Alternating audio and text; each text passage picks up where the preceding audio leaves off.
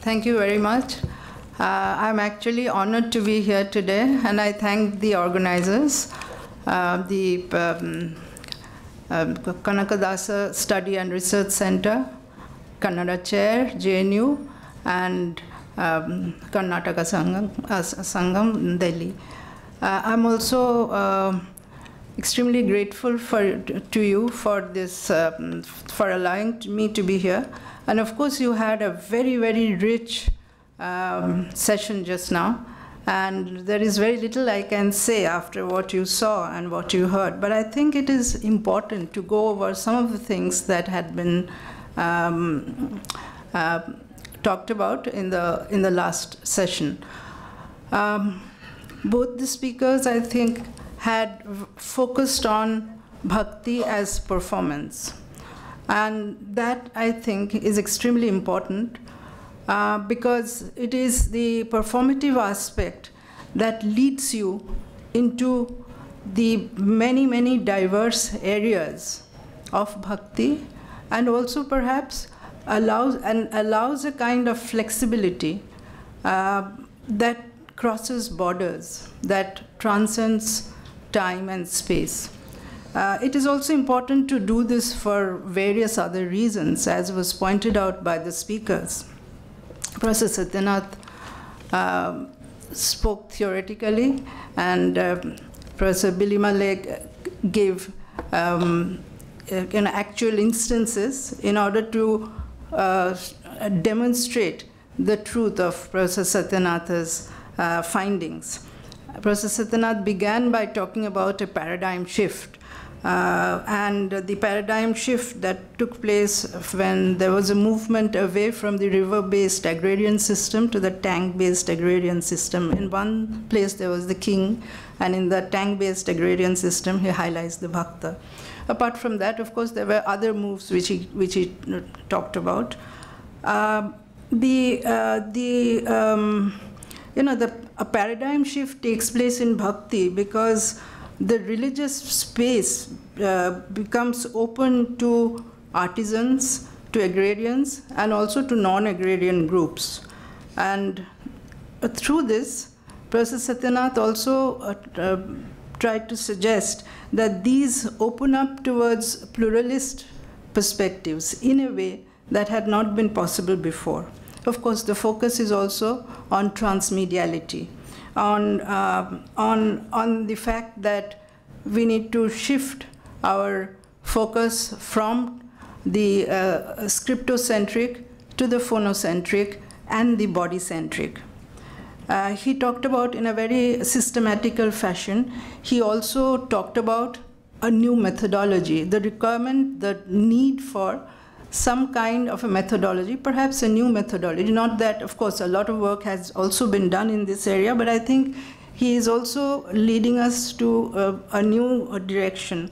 And there he is talking about you know, more elaborate systems of periodization, um, which he showed us, gave a few examples. Uh, he talks also about looking at the different public spheres uh, through the different periods. Bhakti is ever alive. The streams of bhakti are ever flowing. And uh, so there is there are different kinds of receptions. There are different kinds of public spheres. Uh, and but of course he also talked about the nationalistic, the regional, and the sectarian uh, spaces, and um, and it is important to uh, you know not to perhaps ignore the public sphere, the different kinds of reception that were that, that have been accorded to bhakti in order to move away from uh, bhakti, uh, from the perception of bhakti as a homogeneous identity.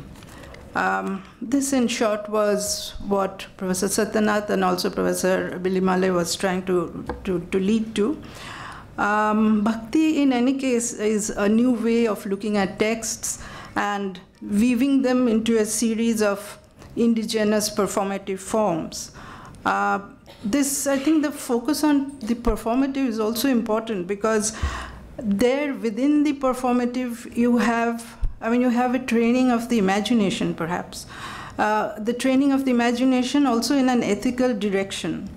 And uh, there is a lot of creativity at the center.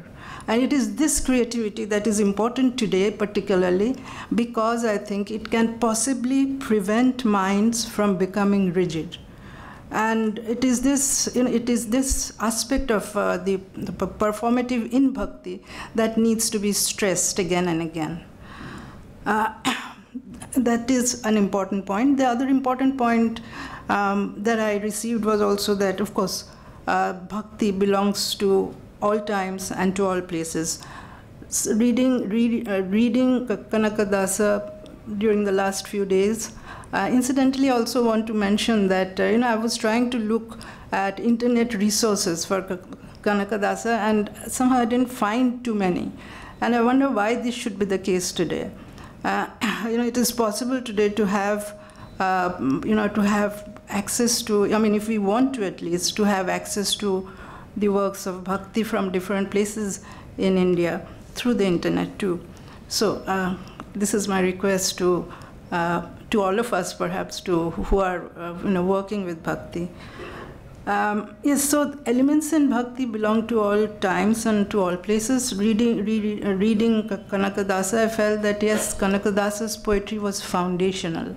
And by foundational, I do not mean, and, and I do think that when a text is foundational, it is also capable of moving, of moving beyond borders. And uh, because it is so firmly grounded in a place, that it is capable, it is because it is foundational that it is capable of moving across, across borders.